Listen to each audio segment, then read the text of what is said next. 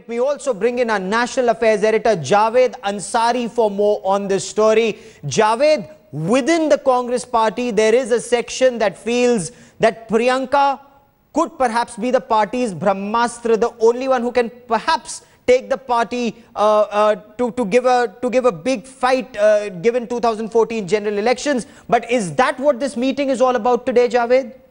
I don't think so. I don't think Priyanka is going to enter the fray at this stage. Uh, I'd be very surprised if she does anything which would in any way undermine or upstage Rahul Gandhi. It's a family decision that they will go with Rahul Gandhi and she is backing it to the hilt.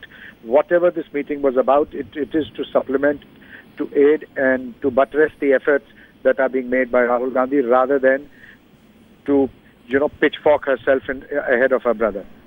And given given this meeting uh, that's happening at, at Rahul Gandhi's place just now, is this all about Amethi Raebareli is, or is this the big picture?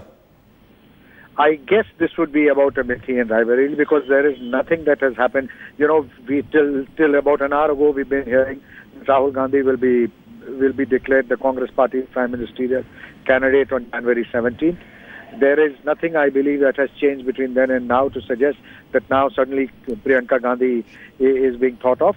Whatever is being planned is perhaps keeping in view Rahul Gandhi and Amethi, nothing to do with projecting Priyanka Gandhi.